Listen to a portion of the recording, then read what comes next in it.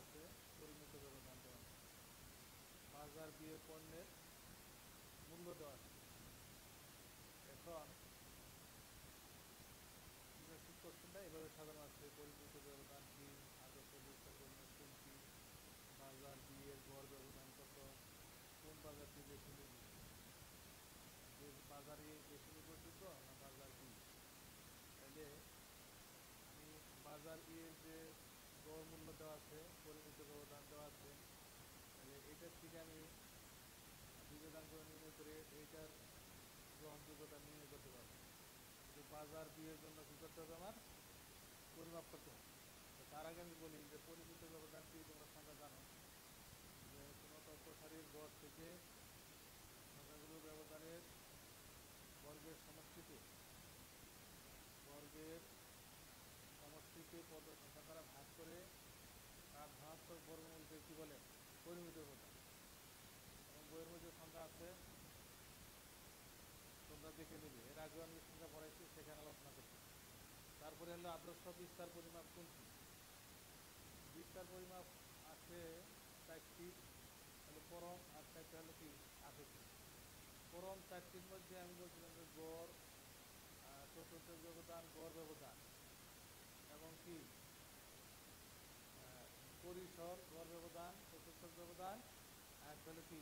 পরিমিত ব্যবধান। তো গড় পরিসর গড় ব্যবধান এবং চতুর্থ ব্যবধান, এগুলা সহজ হলো, সূত্র সহজ হলো। এগুলো পরবর্তী সময়ে উচ্চতর গবেষণা বা উচ্চতর যখন উচ্চ ক্লাসে পড়ানো হয়, তখন দেখা যাবে ম্যাথমেটিক্যাল সমস্যা দেখা যায়। আর বেশি দূর অগ্রসর করা যায় না। ওগুলোকে বেশি দূর আগানো যায় না। তার কারণে পরিসর গড় ব্যবধান এবং চতুর্থ ব্যবধানের ব্যবহার কম। কিন্তু পরিমিত ব্যবধানের ব্যবহার সবচেয়ে বেশি। এবং এটা কি পরবর্তী সময়ে আরও উচ্চতর গবেষণা এই আরও উৎকৃষ্ট মান বের করা যায়? পরিমিত ব্যবধান দ্বারা উৎকৃষ্ট মান যাচাই করা যায়, বের করা যায়। এর জন্য কি? আদর্শ বিস্তার পরিবারগুলোর মধ্যে চারটার মধ্যে পরিমিত ব্যবধান হলো বেশি উৎকৃষ্ট। বাজার বিতে গড় ব্যবধান বের করতে বলছি যে গ নাম্বার। তাহলে বাজার বিয়ের জন্য আমার একটা চার্ট তৈরি করতে হবে এখানে গ নাম্বারে বাজার বিতে একটা চার্ট আমাকে নিয়ে করতে হবে যেমন এটা আমার গড় ব্যবধান করছি এখানে আমি গড় ছোটো গড় জন্য দুইটা মান আমি লিখে নিয়ে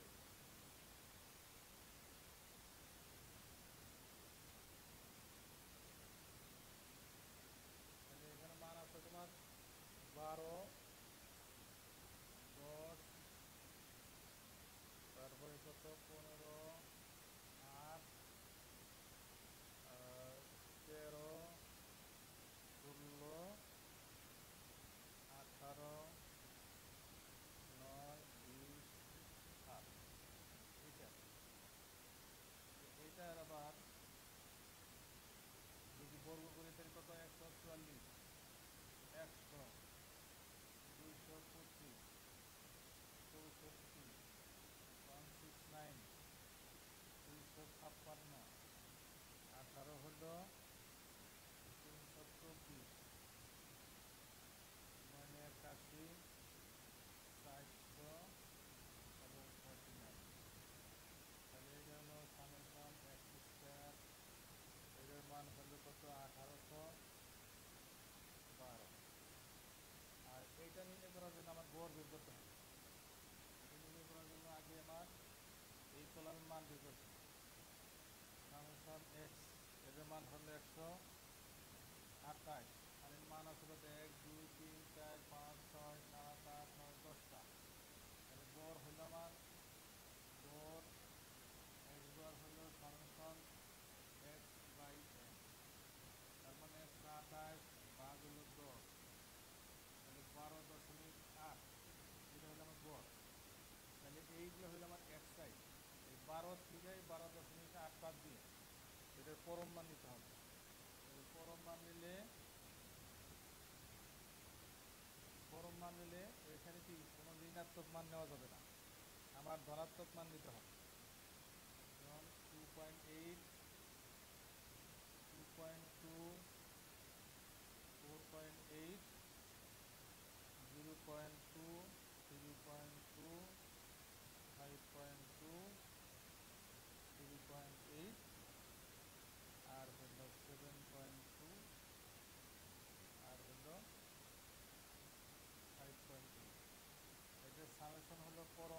i minus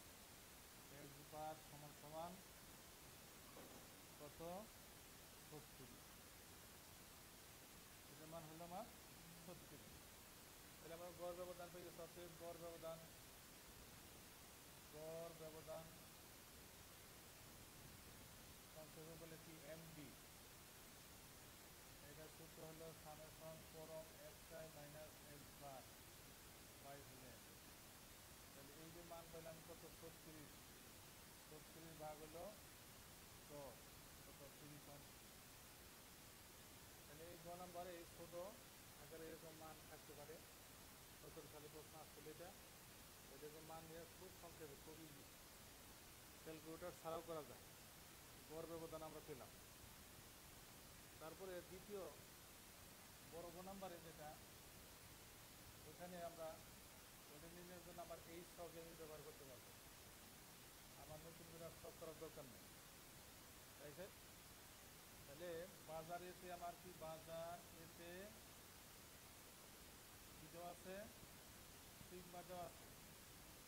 সিগমা দেওয়া আছে কত? পনেরো। আর গড় দেওয়া আছে, গড় দেওয়া আছে কত? পঁয়ষট্টি। তাহলে অতএব সিবি সিবি এ মানে বাজার এ সিবি, সিগমা বাই এক বার, এটা সূত্র পূরণ হলে একশো তাহলে পূরণ পনেরো পূরণ বা পঁয়ষট্টি পূরণ একশো এটা রেজাল্ট হইল তেইশ দশমিক শূন্য আট পাঁচ ঠিক আছে। আর বাজার বিতে বাজার বিতে আমার সিলভার মান বের করতে হবে। এটার মান আমার বের করতে হবে। সিগমার মান কীভাবে বের করব আমরা? হলো হইল summation x i